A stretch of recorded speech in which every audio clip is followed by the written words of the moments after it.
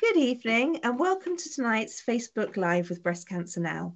My name's Katie. I'm one of the clinical nurse specialists at Breast Cancer Now, and I'm joined today by two people. I'm delighted to introduce to you um, Mr. James Harvey, who's one of the oncoplastic surgeons at the Wythenshawe Hospital in Manchester, and also um, my colleague Anna Lewis, who is part of our policy team um, at Breast Cancer Now. Um, Anna's here today um, to talk about, well, because we've just recently this week published a, um, a, re, a report on breast reconstruction, which has highlighted quite a lot of issues and may well generate some discussion. So she's here today to talk about that a little bit and to answer any questions that you might have related to that. And we will put a link to that report um, in the comments box below. And James Harvey tonight is here to answer any clinical questions about reconstruction, um, of which we've already got quite a few. So I'm sure there'll be more coming in. So please do feel free to put any questions that you have tonight into the chat box below. Um, we will try in the next half an hour or so to get through as many of these as we can live tonight. Any that we can't get through um, this evening, um, we will reply in writing to tomorrow. Um, just be aware that um, the chat, anything that's put in the chat box is public, so um, it will be seen on Facebook. If you wanted to ask anything confidentially, you can always do that either sending us a private message or sending us an email via our Ask Our Nurse service on the um, on our website, or you can phone the nurses on our hotline on our helpline, um, which is open tomorrow morning from nine o'clock, and the number for that is 0808 800 6000 but that link will come up soon as well. So um, tonight's um, topic is breast reconstruction. Um, and as I said, we've already got quite a few questions coming through, but um, I think it's quite important just to mention um, to begin with the um, reconstruction report that's just been published. It has been picked up by the press, so you may have heard a little bit about it already um, but it is talk it, it's highlighted the importance of breast reconstruction, um, but also some of the issues that have, um, are facing women that are going through reconstruction in today's climate. And I don't know, Anna, if you just want to give us a couple of sort of the, the highlights of the report, as it were, and um, and then we'll move on from there. Yeah, absolutely. Thank you so much for having me. So, um, as Katie mentioned, we published the report yesterday, but it's been a program of activity for breast cancer now over the past six months.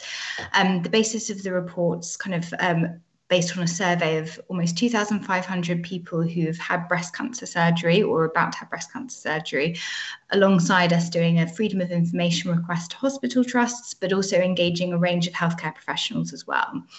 So the report really highlighted some key issues for us. The first one was around patient choice. We really believe that patients should have the opportunity to choose the right surgery for them at the right time. But unfortunately, some of the insights of the report really highlighted the fact that patients aren't necessarily feeling like they're making a joint decision with their clinician.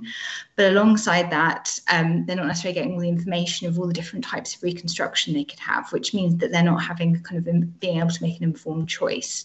And I think the statistic that we kind of found from our report was around um, six in 10 only six in 10 definitely felt involved in their decision making around their breast reconstruction. Um, the second thing that we found that there was um, limited opportunity in some areas of the country to access free flap reconstruction. And I appreciate that free flap's known by lots of different names, um, but essentially it's using tissue from another part of the body to um, provide that reconstruction for the breast. But unfortunately, of the kind of um, only 40 hospitals across England actually provide free flap reconstruction, and there's challenges for individuals that aren't kind of being treated by a hospital that doesn't have free flap. Alongside that, some other issues that were highlighted in our report was around things like local restrictions, where particular areas restrict people in the amount of surgeries they'd like to, they can have, and um, the type of surgeries they can have, um, and the number of surgeries they can have, and then in what time frame. So there's some particular restrictions that create a bit of a postcode lottery. And then the last thing that we found was that obviously COVID has had a huge impact on services. Um, there were 60, roughly 60% less uh, breast reconstructions during kind of the first year of the pandemic. And that's also then um, meant that services haven't been able to recover. So we're now at a position where about 34% of service reconstructions are being performed less compared to the year prior to the pandemic, so 2018, 2019. So that's just a bit of an overview of some of our findings, and we can talk about the recommendations a bit later. Yeah, there's a there's a lot lot in there, isn't there? There's a lot to think about. So um, yeah, um, thinking about choice and um, and and and what's the best choice for for a patient. Um, we we talked about um, making sure that they have the right information. Um, and that's something that um, obviously tonight is a, a, lot to do with as well. So um, we've already getting quite a lot of questions coming in, which is brilliant. Um, Sabina has asked, um, first off, is what would give the best cosmetic result?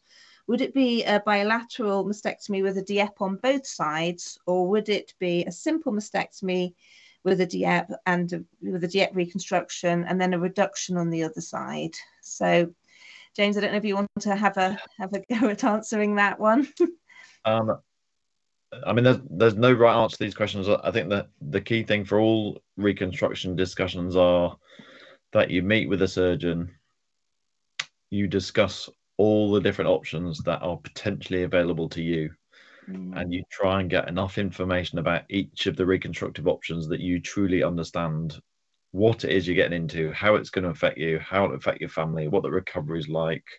Maybe see some photos or be introduced to patients who've who've had it done and have a real understanding of what the outcome of that operation is going to mean for you, and then for you to choose out of those options which are going to suit me best. Clearly, having a bilateral DIEP is a much bigger procedure yeah. with, with, larger risk than, let's say, have a unilateral DIEP with with a reduction on the other side. And the cosmetic outcomes are very different, and the impact on you as a, as a woman, sexually, mentally, physically, are, are going to be are going to be different. So, um, I think making sure that you're given that that information and and and choice.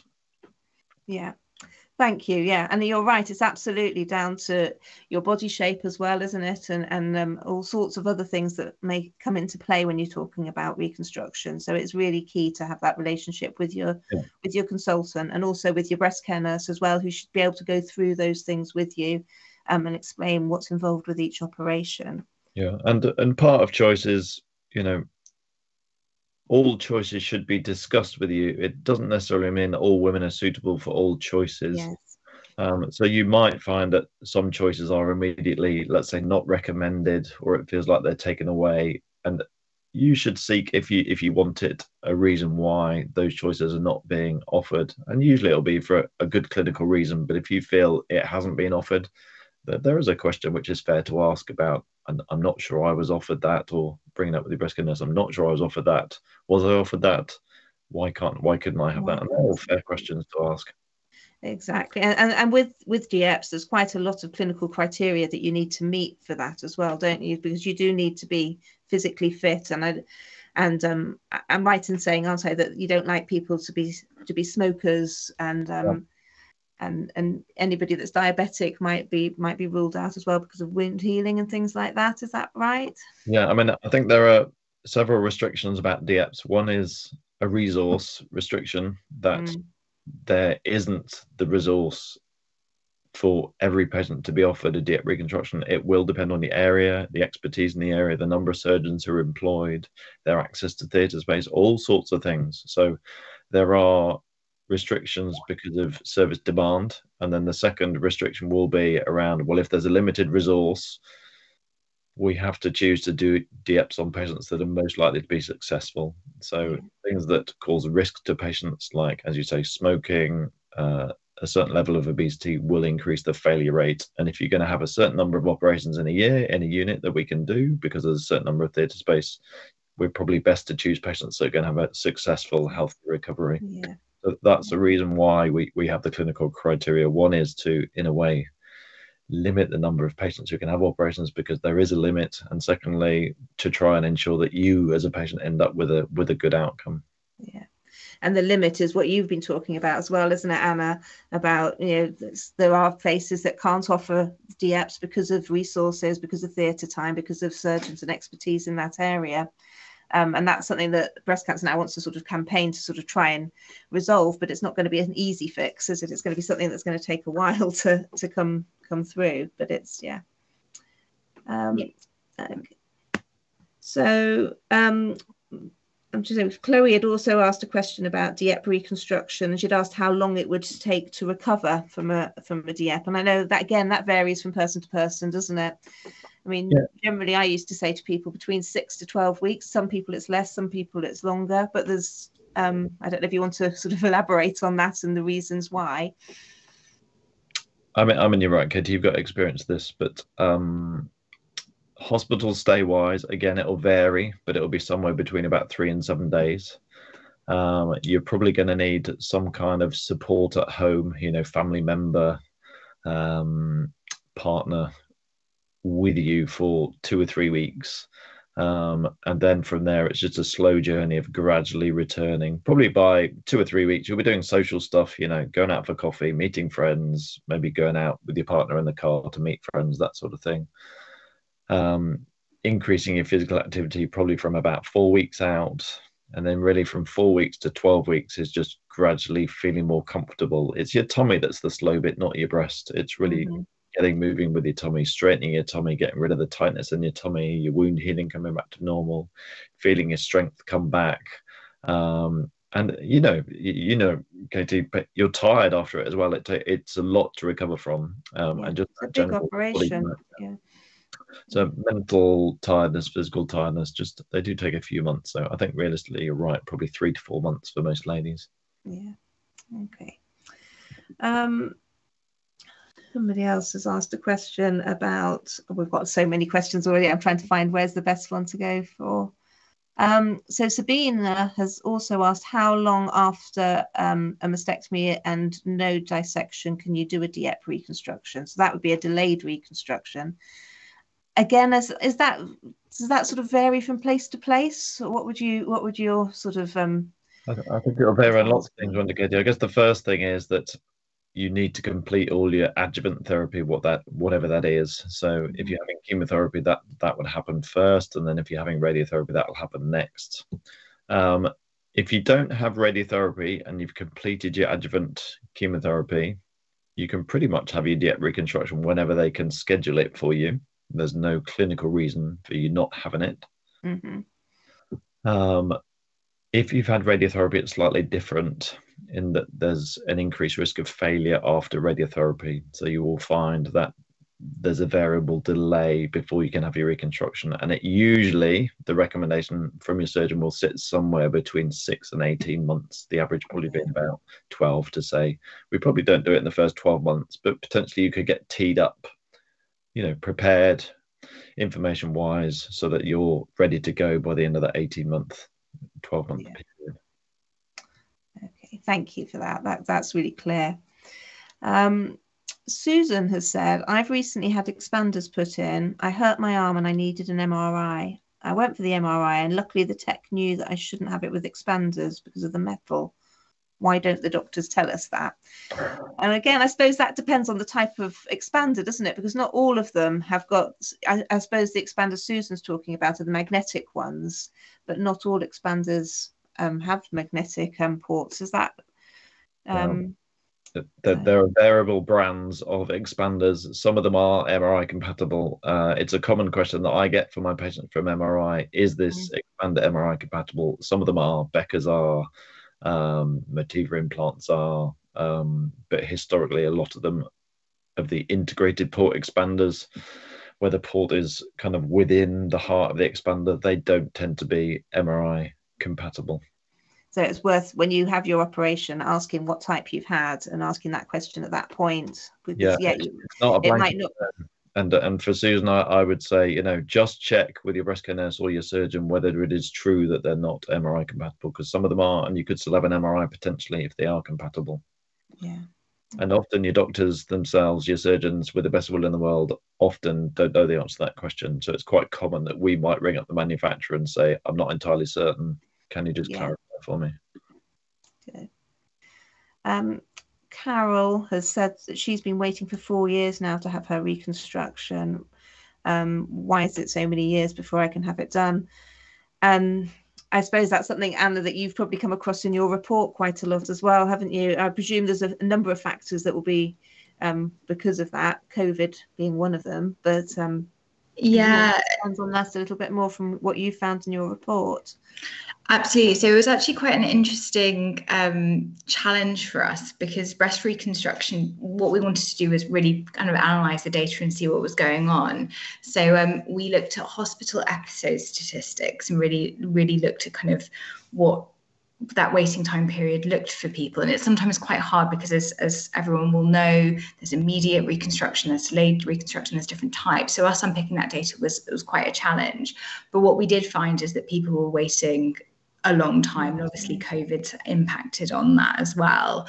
And when we did the freedom of information requests as well the variation that we found was quite interesting. So for instance there was huge variation where services had started re- restarted doing their reconstruction because uh, obviously they were paused during the pandemic. So that's why some places it's taking them longer to get through. It's also that some services aren't opening up to full capacity which was something a big issue that we found. And as james mentioned it's because of theatre space. It's not just mm-hmm. breast reconstruction that's got a backlog it's all different types of surgery.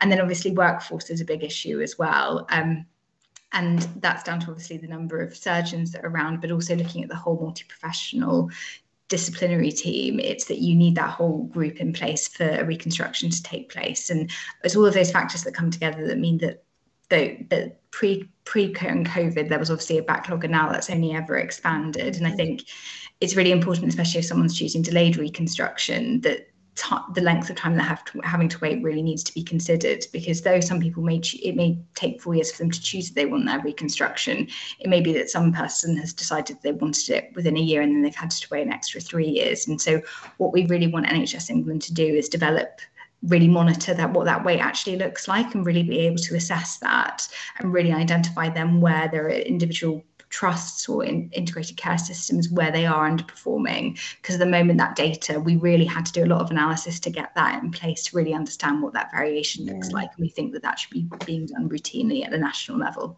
because it has a huge impact on women, doesn't it? And I know Lisa's just sent in a message now saying she had her mastectomy in 2020 and she's been waiting for her reconstruction ever since, just been told she's got to wait another year due to the backlog and she's devastated. And we hear that a lot, actually. We hear that a lot on the helpline as well. And Lisa, if you do want to talk this through and you feel that you do want to have any extra support, please do phone our helpline um, because the nurses on the end of the phone there can listen to you and, and can just give you some support there because it is, we do recognize that it is a very, very difficult thing and it has a huge impact on people in all, all parts of their life. Um, and that's one of the reasons that we've done this report, isn't it? To try and um, to try and highlight this and to get it recognised more. Yeah, I think one of the big things that we wanted to get across to um, key decision makers was the fact that breast reconstruction is part of the journey. It's not an add-on. It's it's an integral yeah, part. It's part of recovery, isn't it, for so Absolutely. many people? Yeah. Um, Anita has asked, um, how long does it take to recover from reconstruction and fat grafting without any complications? So I suppose that is that lipomodeling um, and fat transfer you want? Would you like to explain just what that is a little bit, James, and then we can explain how how yeah, how long recovery is from that? Sorry, depends what the question is, but lipomodeling itself is is quite straightforward. It's just liposuction, so it's usually putting you to sleep, general anesthetic, um, and then harvesting some fat from somewhere, usually tummy, thighs, bum, um, taking excess fat that you've got, just like liposuction you'd see for cosmetic reasons, and then we clean the fat up uh, with a filter or, or with a cleaning device, essentially wash it. And then we're injecting it in tiny little tunnels into your breast or your breast reconstruction or mastectomy scar to essentially just plump it out.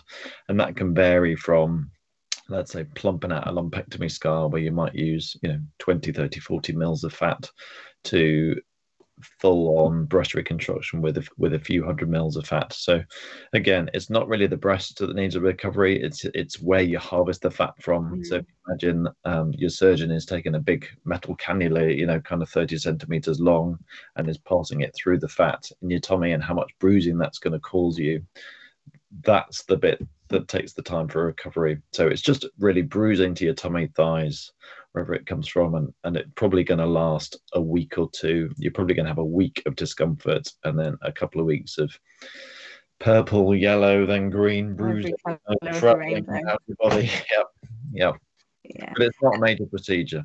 No, it's a day case procedure usually, isn't it? So, yeah, exactly. Yeah. Yeah. Yeah, I'd expect a big day case. Okay. Thank you. Um, so Denise has asked, can I have a reconstruction when I suffer from cardiomyopathy? Now, that's a bit of a, a tricky one. I suppose that would very much depend upon um, your pre-assessment, wouldn't it? A pre-anesthetic assessment and, and, what was what type of reconstruction Denise was thinking of. Um, yeah, I think it would depend on a lot of things. It, it will depend on the unit that you go to and their expertise, and you probably need to go to a unit that has obviously a, a good cardiology unit in there, um, and the HDU ITU services you will need an anesthetic assessment as to what your risk is, and that should be discussed with you about what's my risk of harm, as in a complication, and what is my risk potentially of of death, and then for you to sit down with your surgeon and decide is is this a level of risk that the hospital is willing to give to you? So they may say no, or they may say potentially it's a yes, but discuss it with the patient, and then it's up for you and the surgeon to decide is that level of risk you're you're happy to take. And again, it's the same thing we talked about before, isn't it? You should have a full understanding of what the risks are, the level of risks, and then it's a balance for you to work out what's the improvement in my quality of life versus what's the actual risk to me, and is that a risk that I am willing to take. And you will also have to find a surgeon who is willing to go on that journey with you and some may be willing and some may not be willing and i'm sure they will be clear to you whether they're willing to take you on that journey. Yeah. There's no right or wrong. And it's it's a it's a scale isn't it katie from mild cardiomyopathy where actually once you've had your heart test and your echoes it's not a great problem through to that this is really not a sensible option at all and and i'd strongly dissuade you. Yeah that's true. So yeah and it's all about informed consent as you said. So um, I'm just looking through here. There's quite a long one here. I'm just reading.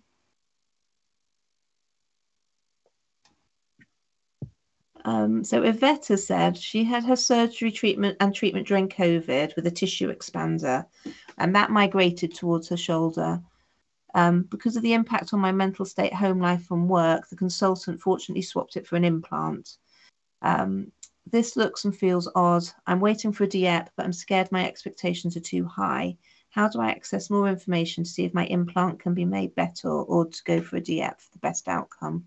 I didn't get much information due to the pandemic. Gosh, hmm. so that's a bit complicated, isn't it? So, um, how to get more information? I suppose the first port of call is your breast care nurse, and then asking asking to see the um, the surgeon again to go through all the different options. Um, I agree, Katie. Yep. And managing expectations is a big one as well, isn't it? It's knowing, you know, knowing what that reconstruction is going to look like, uh, and and um, and being prepared for that. Because at the end of the day, when when you're having a reconstruction, you're you're creating the shape of a breast, but it won't be a breast um, itself. So it's managing that as well and being aware of that. So that can be difficult as well. Exactly. And delayed reconstruction with an expander is a very difficult thing to get a really good shape from because you've lost the skin. So once you've lost the skin, you're really just making a mound. You're, you're mm. not going to get the skin back. You're not going to get the natural shape back. So inherently, if you have an expander or an implant, you are really talking about symmetry in a bra. So when you're in a bra, bikini, whatever it is, um, the volume will be pretty much symmetrical. Nobody outside would know, but as soon as you're out of a bra, they're clearly going to be completely, well, not completely, but they're going to be very asymmetrical, given that one potentially is a natural breast and the other one is a, I describe it as a dome, really, which is mm. the best way. It, it's a fillet, it's an internal prosthesis in, in that scenario. A, a, a DIEP reconstruction in that scenario would bring skin back in and soft tissue and give you a completely different cosmetic result. But you, you have to invest in that. Uh, you have to invest in the recovery and you know everything that, that goes with that really. So I think care nurse is definitely the first port call. Um, they should get an appointment with the surgeon and discuss it. And I think the other thing, Katie, that that we all know is that if if you don't feel you're getting progress or or clarity you, you can ask to see somebody else, and that, that's absolutely fine. You can go either within the service to somebody else or potentially to a different service and just get a second opinion if if you're yeah. not comfortable, which is also fine. Yeah. That's true, and and nobody minds if you do that. That's um, you know, that's part of the process, isn't it? To make sure that you're comfortable. Is that, is that a cat, Anna? Joining in. oh dear. Um,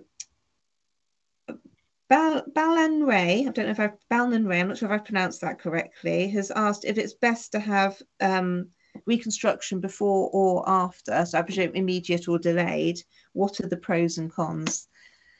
And again, that's a very personal decision, and lots of factors to play play into that. But um, where would you where would we begin with answering that question? Uh, fundamentally, if you have an immediate reconstruction, we are saving your skin so potentially saving as much of the front of your breast as possible. That might just be the skin, or it might be the skin and nipple. So if you have an immediate reconstruction, you're going to keep the skin and you're just going to change the filling, really. Mm. If you have an immediate reconstruction, we may be keeping the nipple as well. So it may be that the front of your breast actually looks exactly the same and we're just changing the filling. Whereas a delayed reconstruction, you're taking away the skin and the breast and left with a flat chest. So your reconstruction, if it's done with an implant, will never fully get that skin back. The idea of the expander is to stretch the skin to give you a bit extra. But you'll never get it to the level it was before, or you have a flap where you bring it in skin from elsewhere as well as soft tissue to give you give you the shape uh, and the volume. Um, if interestingly, it's kind of a bit backward, but if you look at quality of life of women who've had an immediate reconstruction, it's higher if you have your own tissue, but mm-hmm. not want that. Uh, slightly lower if you have an implant, but but still good quality of life. But if you look at women who have a delayed reconstruction, their quality of life is actually better than women who have an immediate reconstruction. But that's probably because they've had a, let's say, a dip in quality of life while they've had the mastectomy and they're, I don't know what the correct phraseology, but you know, delighted that they've they've got their reconstruction, yeah. they've got their breast back. So actually, their quality of life ends up being higher. Right. Yeah. And that does make sense, actually, doesn't it? So, yeah, interesting. Um, Ruth has asked, does reconstruction make it more difficult to identify potential recurrence or new lumps? And I've had another question along those lines as well from, um, yeah. From? Um, Nikki, would it be harder to spot a recurrence? Um, yeah, so, I think that's a really good question we get asked all the time, isn't it, Katie? Mm-hmm. Like, I think um, fundamentally the answer is is no. You're not at increased risk. Um, the majority of cancers within the breast will be either kind of in the center of the breast or closer to the front of the breast the vast, vast, vast majority of recurrences, not that it's common, but the vast majority of recurrences, when they do come, will come in the skin. So whatever your reconstruction is, your reconstruction will sit behind the skin. So the reconstruct the recurrence will come on the skin that you can feel as a little nodule. Yeah. Um, if you have a cancer where the surgeon is worried that it's, for instance, tethered to the muscle at the back, um, or involving the muscle in the back, that's probably a scenario where there's slightly increased risk of potentially a recurrence coming back behind your reconstruction because you've got the muscle at the back and then your breast reconstruction and then the skin on the top. So potentially if the recurrence came back on the muscle, which occasionally it does, that will be difficult for you to pick up and much more difficult for for us to pick up. But that's quite a rare scenario, to be honest. And I think um, another thing to say really is if you're having a mastectomy and a reconstruction, m- the majority of that breast tissue is gone. So it, you, you it's not like you've got a breast that can have another cancer coming back in that breast. Although it's reconstructed, it's not breast tissue anymore as well. So it's just important that that's understood. But yeah, you're right. I think this it's along the scar line, isn't it, that I would always say to people to look and, yep. and be most aware. Um, I've had a few questions about pain. So Jenny has asked, how long should I expect to have tenderness and nerve pain? And then I've had somebody else saying, I've Anne has said, I still get pain on my reconstructed side after four years. Is that normal? um, so what what I tell my patients is obviously when you take the breast out, you are cutting all the nerves that supply your breast. We are literally cutting them um, so you have cut ends of nerves sitting there um, and they're gonna they're gonna let you know about it. So it is completely normal to have shooty pains, burning pains, sudden kind of catching pains um, for the first few months, uh, and it's normal that those pains settle over time and get less often. But I would still expect you to have them six months out occasionally that will catch you, and maybe even up to twelve months. It's it's uncommon to have that sort of pain more than a year out, but a few ladies do. Um, and it depends whether we're talking about nerve pain or kind of tightness pain. So ladies who have women who have radiotherapy, the reconstruction can get tight or the skin can be tight and uncomfortable. Um, and that is something that if you have that tightness or discomfort, because it's the physical tightness in your reconstruction, won't, won't change, won't settle. So there are a proportion of women out there for usually for radiotherapy reasons or surgery reasons of scarring that that, that tightness or discomfort um, stays. Yeah, it's not common, but it can happen, can't it? Yeah. Um, and Tina, so many questions. I'm trying to keep on top of them all here. So Tina has said, I've had a single mastectomy, would have preferred a double, and I'm left with one saggy, large, untamed breast. Do I have any choice of anything now? Yes. you do. You do. You have a lot of choice. I think um, for most centres in the country, we are allowed to do revisional surgery, and that might be revising your reconstructed side, or it might be changing your other breast, as in a, a breast lift or a reduction to match. Um, I don't think, from what she's saying, I don't think she's had a reconstruction on that side. So maybe it's to oh, match okay. the other side. But um, I mean, you you could you could do a reduction on the on the on the remaining breast, couldn't you? And then something else to match. Because I've also had somebody else asking about um, um, where is it?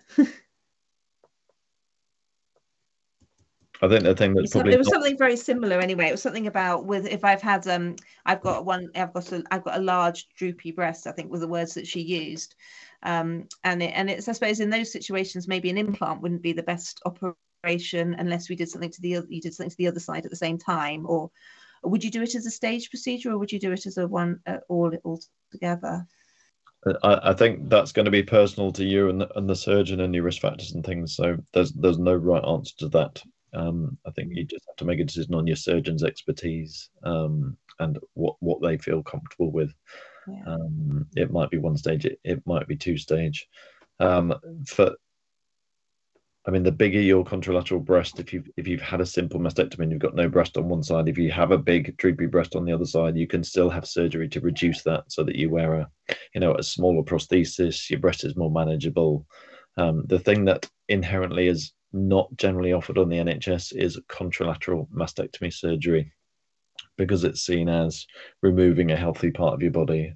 So, mm. as you know, we wouldn't routinely offer to take your ovaries out in case they got a cancer. We wouldn't routinely offer to take your other breast off if it's not cancerous and, and not at high risk.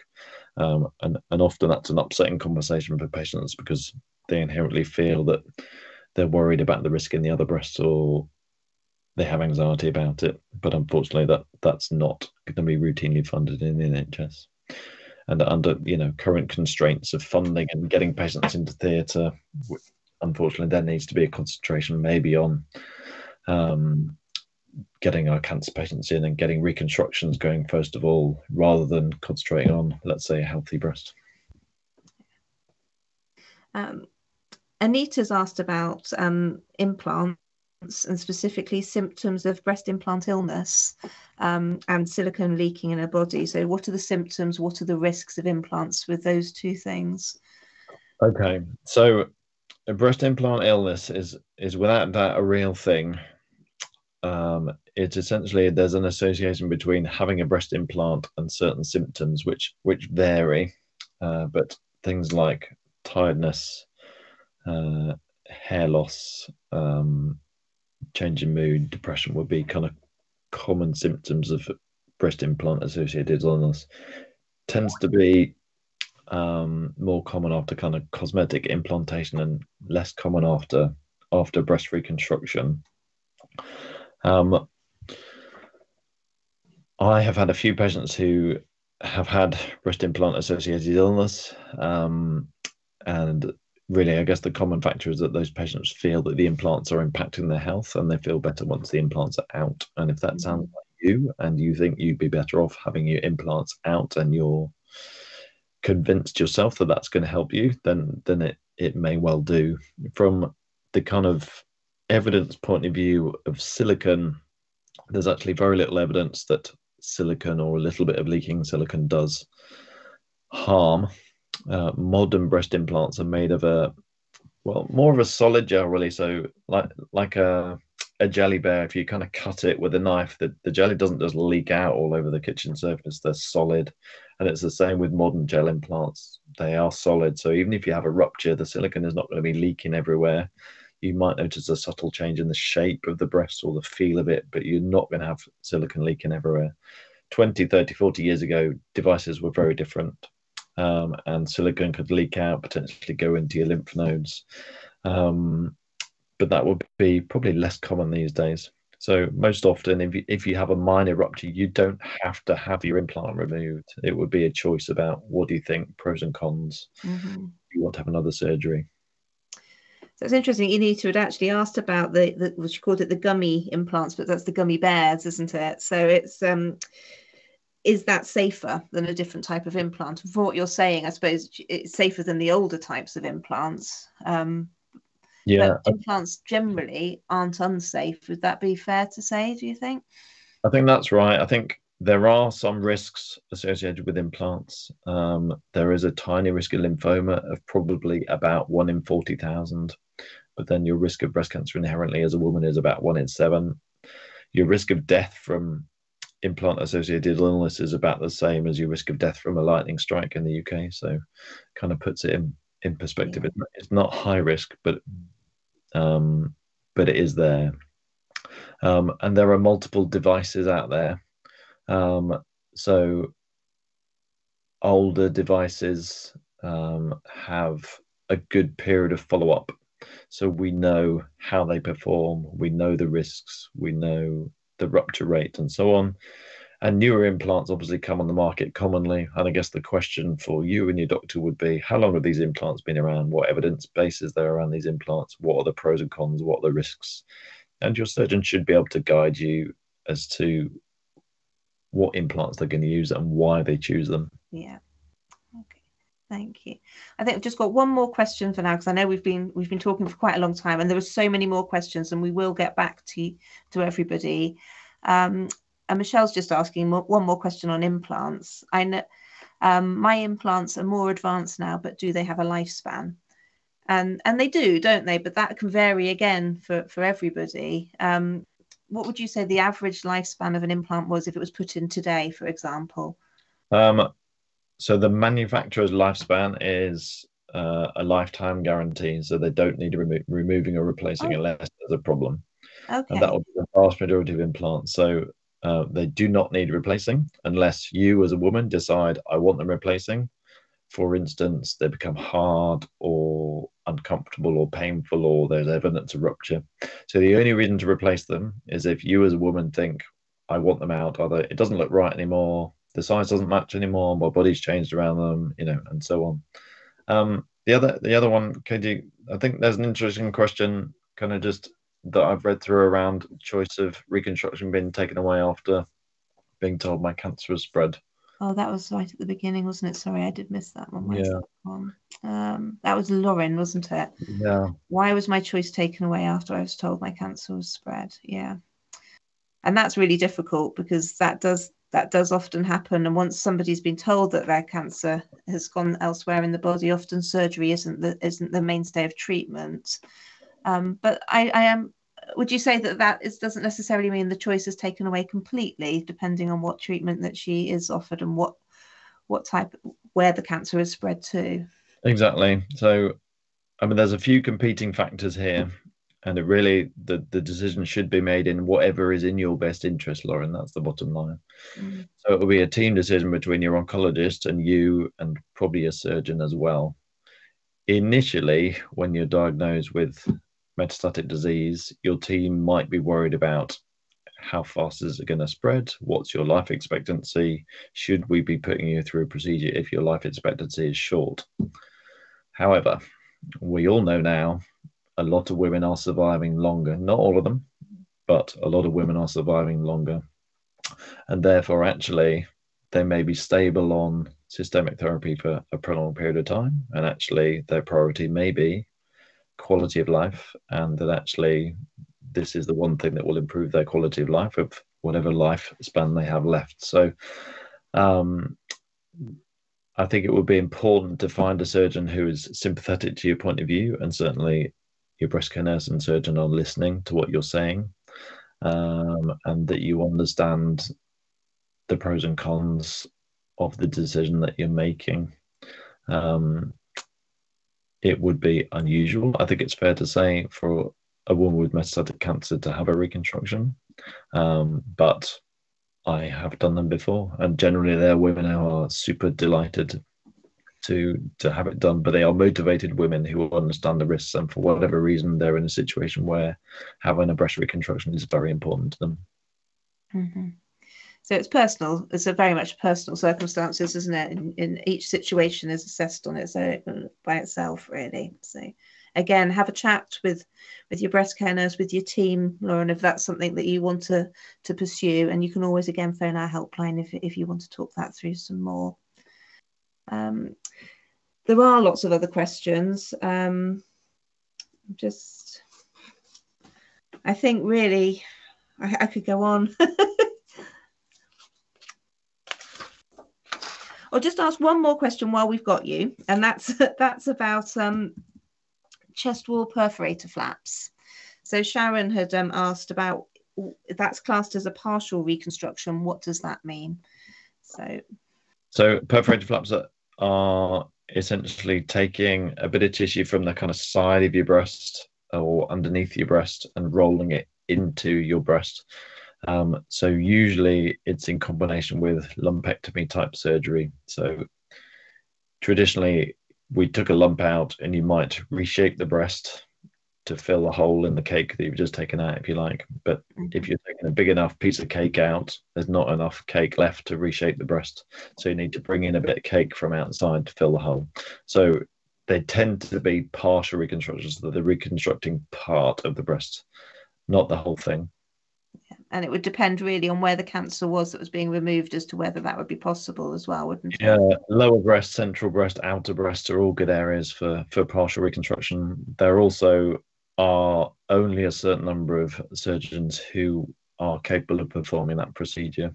So you may be offered it in your unit, uh, or it may be a unit that refers you on to another unit, but I would say it's probably not universally offered. Thank, thank you. Anna, there are questions for you, and Carly Ann has asked something as well um, about what happened to the government backlog.